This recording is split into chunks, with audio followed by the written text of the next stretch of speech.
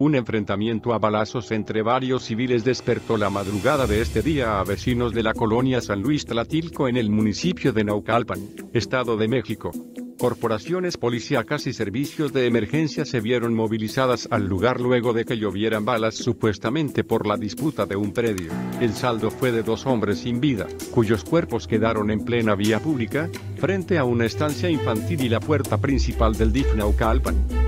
Una mujer y otras dos personas resultaron heridas de gravedad a causa de los impactos de bala y fueron trasladadas por paramédicos a un hospital cercano. Minutos más tarde, la fémina murió en el nosocomio cuando recibía las primeras atenciones médicas por parte del personal.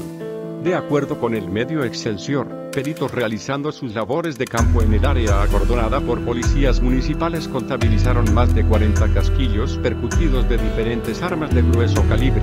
Esta madrugada una balacera dejó dos personas muertas y dos lesionadas en Ferrocarril Acambaro y Primero de Mayo, en la colonia San Luis Tlatilco Almohadilla Neucalpan. ¿Cuál es tu reporte gobernador Edomex?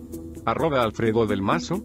El cuerpo de los dos hombres fueron trasladados por elementos del Servicio Médico Forense, SEMEFO, a bordo de una camioneta para ser llevados al anfiteatro del Centro de Justicia de Naucalpan para iniciar una carpeta de investigación por el delito de homicidio.